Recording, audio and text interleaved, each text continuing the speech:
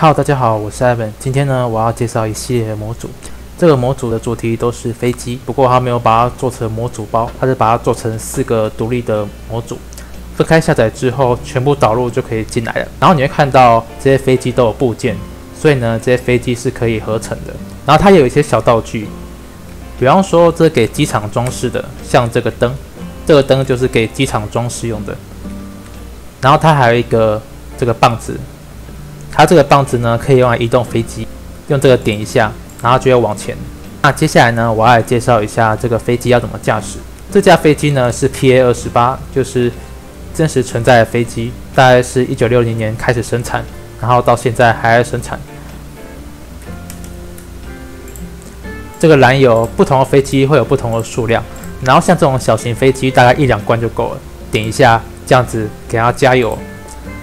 然后玩家在右键点一下就可以坐上去，对着飞机按按右键，然后呢，我们可以启动引擎，然后显示仪表板，然后它这个还还可以自动驾驶，不过不是每架都有自动驾驶，因为它这个飞机，呃，推出时间有差，所以呢，它这个飞机功能会不太一样。然后它旁边还可以把这个襟翼放下来，像这样子，可以看到这架飞机的襟翼就放下来了。通常是降落的时候才才会放下来。最下面这个功能则是带上副驾驶，就是因为这架飞机是客机，所以它至少有四个位置，你可以让附近的玩家都坐上来。好，那我们要怎么起飞呢？首先，我们要先开启引擎，然后再来呢，我们要按一下空白键，也就是跳，来来拉高节流阀，然后再按一下 D。还有 A 可以用来调整方向。接下来我们可以起飞了，一直按空白键，然后让让左边的速度计到绿色为止，然后再按一下 S 来拉高拉高机头，然后呢就可以开始就会往上飞了。因为这个飞机的动力学设计的比较简单，所以呢它设计成不用太长的跑道就可以起飞。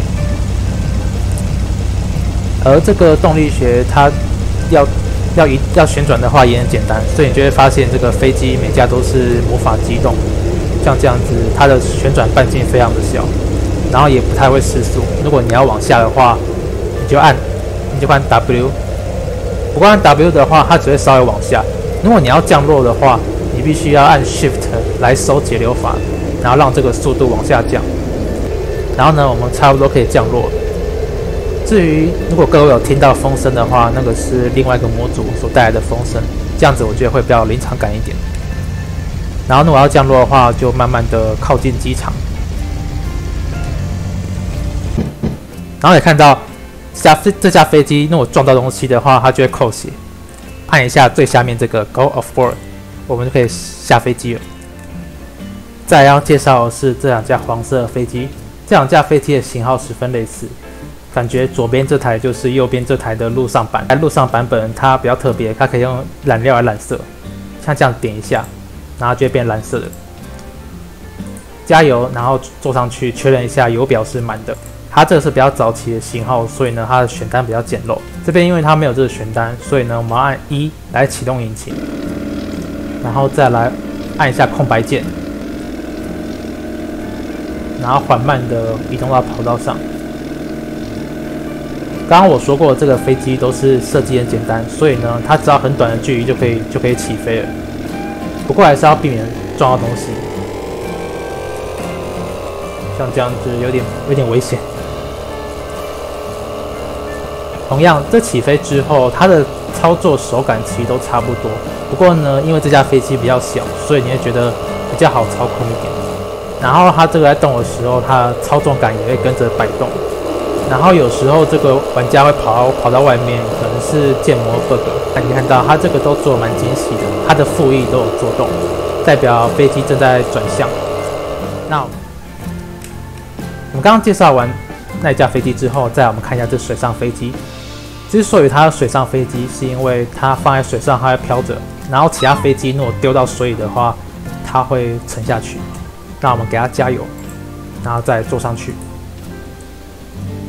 这个是作者早期的作品，所以呢，它的界面也很简陋。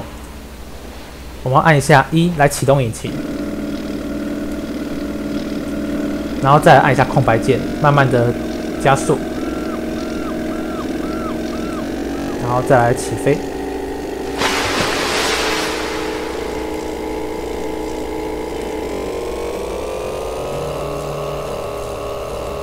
因为它水上飞机，所以它就飞得更慢了。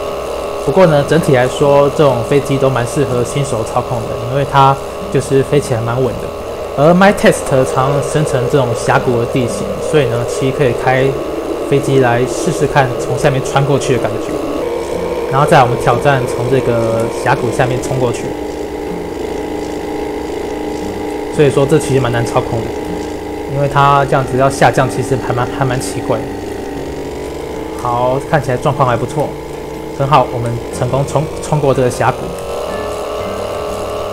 那我们现在关引擎，好，差不多在这边降落。因为是在水上，所以可以缓冲一下。OK。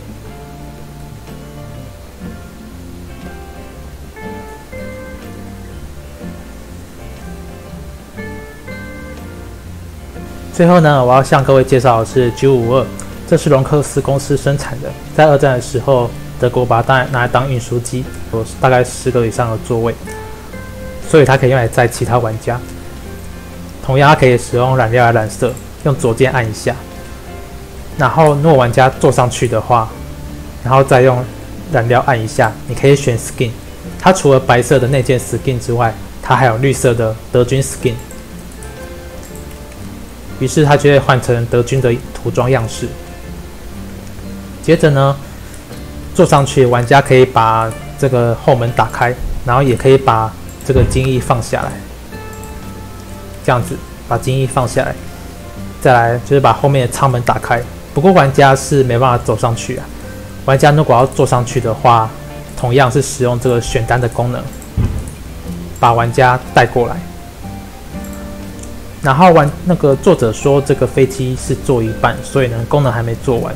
所以它没有自动导航，但以后应该就有了。那同样，我们在起飞前要先给它灌油，它需要三桶油。开始启动引擎，然后按一下空白键，然后再来缓慢的拉伸机头。不不过，就像我刚才说的一样，这个飞机呢，它的模型都做的差不多，所以呢，它。不需要很长的跑道就可以起飞，然后这架飞机它它的轮子也收不起来，所以呢它速度有限。然后呢这架飞机转弯会有有一点点迟缓，因为呢它比较大台。那操控也是跟其他飞机一样。作者就说，如果你不太会开这种飞机的话，你可以先开小型机来适应一下，因为这种大型飞机比较难操控，然后它的视野也比较受限。所以呢，相对来说要飞得比较谨慎一点，不然的话很容易坠机。随着坐着坐这个飞机越来越多，你觉得就会发现它的模型算是越做越好。它除了有这油量表，还有高度计以及它这个俯仰计以外，它还有其他的大很多仪表跟着做出来。比方说像这个罗盘，它也会跟着转。所以呢，我觉得做的它算是有在进步。然后就像我刚才说的一样，如果冲出跑道的话，掉到水里它就会沉下去，因为它不是水上飞机。最后呢，这个有这个模组它有加一些指令，像这个飞机它们都有自己的指令，比方说 eject，把你弹射出去。不过这些飞机都有加那个手动操作按钮，所以说不太需要用到指令。